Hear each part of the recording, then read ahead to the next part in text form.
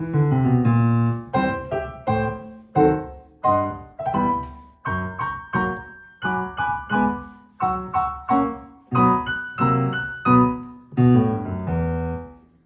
next part is these next four measures. And we're starting from that roll down we left off in the previous section. Okay, so the first chord here is C major. So E, G, C inverted. So going down A, two black keys, D, D sharp, F sharp, C. Note that it's we're, we're staying with the same.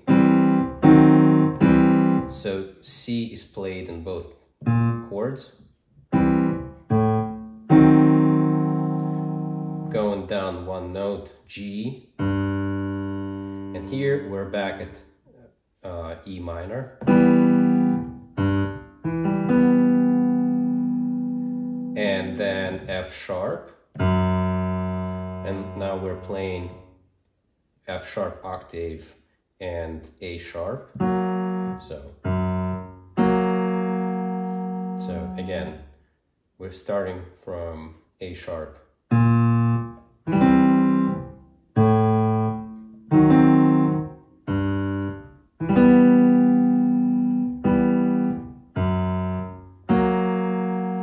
And now we're moving away from the bass. We go in here, we're pressing F sharp again. G sharp C and G sharp B.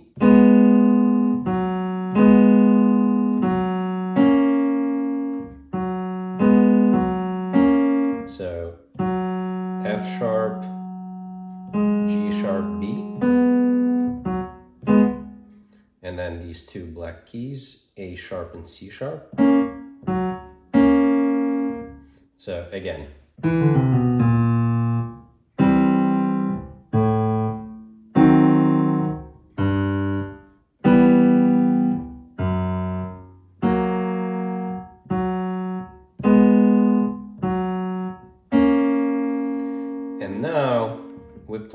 These three chords.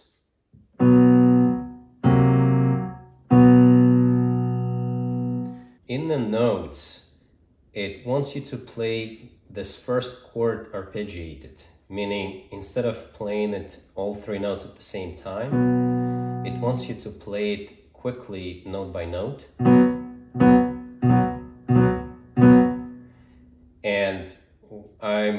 I'm actually gonna we're gonna learn right hand separately, but I want to show you how to play it arpeggiated with the right hand here. I actually prefer to play this whole chord arpeggiated with the right hand. And instead of playing with the right hand B, D sharp, I first play D sharp and B. So I'm sort of arpeggiating from high to low, and here I arpeggiate from low to high, and it sounds very nice.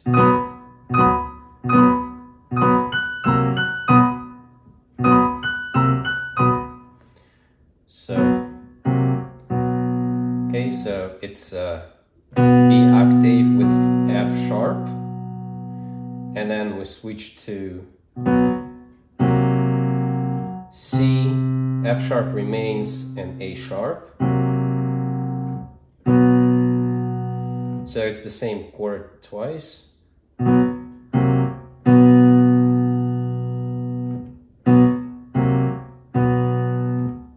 And now the roll down again, back to E.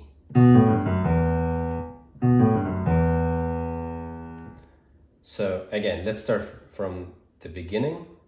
We start from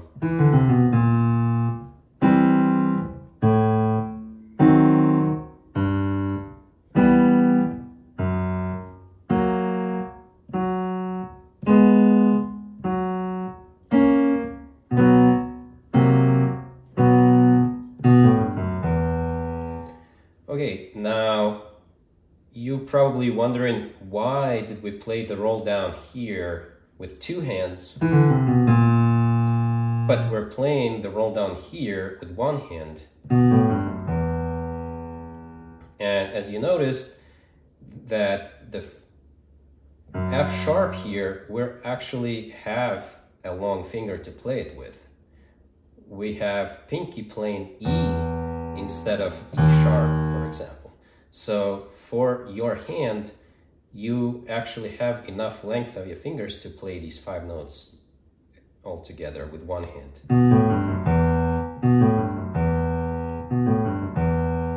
So we don't need to use our right hand to help. Here, we don't have the length of the pinky to play A sharp. We have to move the hand, it's very inconvenient. You will make a lot of mistakes, but to learn it quicker, it's easier to play two hands. But here, you play with one hand. You don't have to move your hand anywhere. Okay, let's go to the right hand. So notice that uh, we're gonna be playing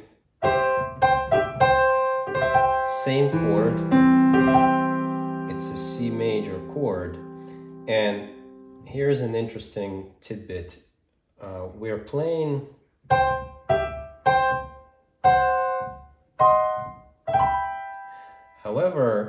because remember at first in the beginning, we had this chord to play. And this is actually hard to play using your second and the fifth finger because you have to rotate your wrist. Here, we could actually play using our second finger because we're playing this chord. So if we decide to play this chord without moving our wrist, we could actually play C and G with the second finger and the fifth. And we don't have to move our hand to play these two notes. So what, what I mean is, instead of playing with the first finger and extend and rotate, we could play because it's easily easy to reach this chord. But there is an interesting nuance with that because if we play it with the first finger, then the notes say we should be playing C and F sharp. And that's correct because it's easier to play if you're using first finger. Now, if you're using the second finger, to play C, G, and use first and third on the G and E, then it's actually easier to play C and F sharp with the second and the fourth. But because the hand is not really stable here, I suggest that you play A with it. So instead of playing, play and it actually adds a little bit of color to the chord. Um, I like it. I do play it because I like playing it with the second finger here. If you're playing with the first,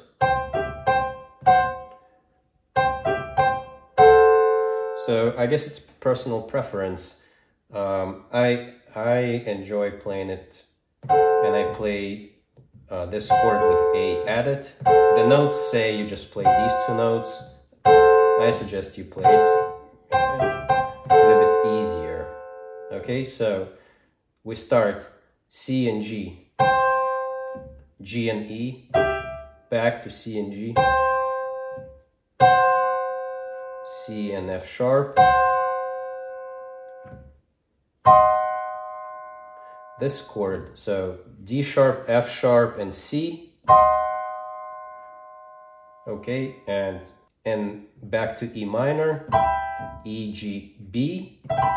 And the notes say you should play this arpeggiated. I, I like that. I like that it's a little bit arpeggiated here. Adds a little bit of color to that drawing too. So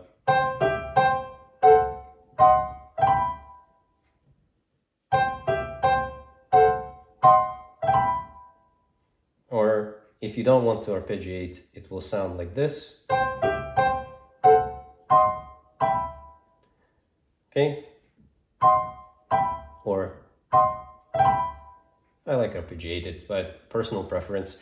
And then we go here, this chord here, A sharp, C sharp, G. And going lower, G sharp, B, D, and F sharp. Four notes here, G sharp, B, D, and F sharp. And again, the same chord as previous. So we were playing this, this chord, we're just shifting down, same chord. So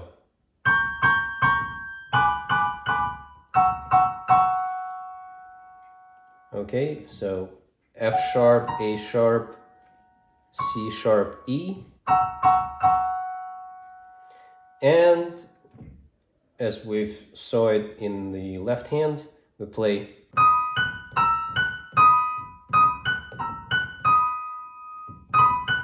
I play this this part I play arpeggiated. I like how it sounds. Instead of playing it together, I first play D sharp then B.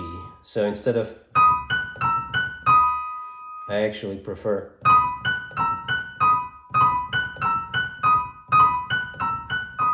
you can play personal preference. I like it. I like it arpeggiated. So we play B, D sharp, and we alternated alternating via F sharp here. So it goes to A sharp E.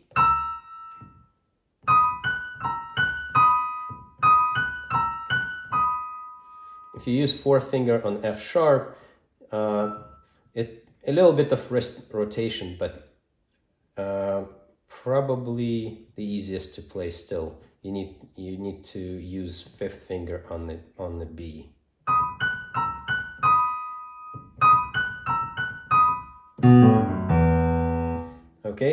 again, going to beginning.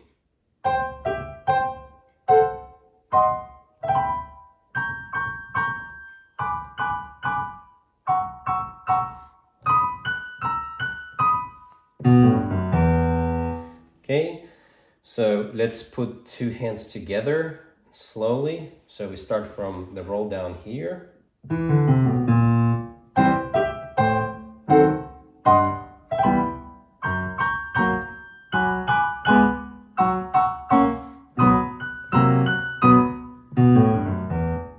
Here's one other tip that I would suggest if you wanted to play it this way. I actually prefer to extend the bass notes. So I use sustain pedal for that. Instead of playing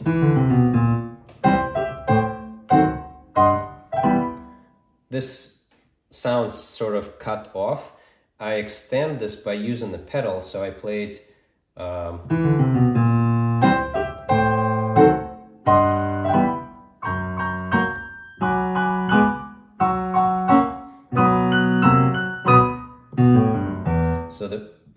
first note I sustain it. So.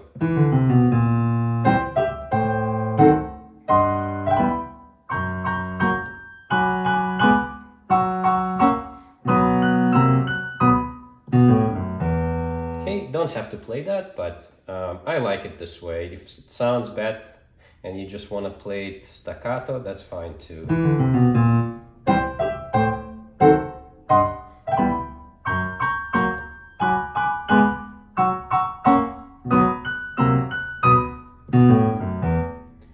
Let's move to the next part.